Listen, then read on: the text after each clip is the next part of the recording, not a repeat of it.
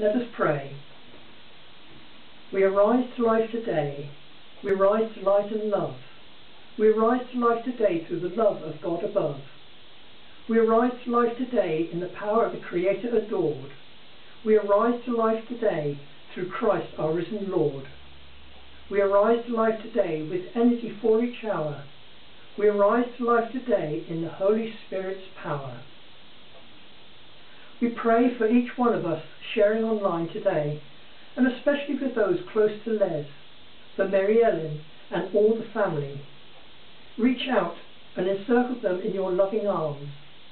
Grant them the comfort you have promised to all who mourn, your peace that passes understanding, your light that reaches into the darkest places of life and beyond into the darkness of death.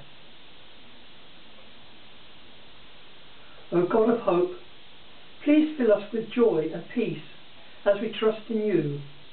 In a world of uncertainty and anxiety, when many are mourning for loved ones, when many have lost their means of livelihood, when old familiar ways of living may be gone forever, where the new normal is yet unknown, and where persecution of Christians looks set to increase.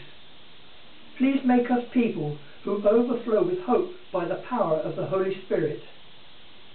Romans 15:13 May the God of hope fill us with all joy and peace as we trust in him, so that you may overflow with hope by the power of the Holy Spirit.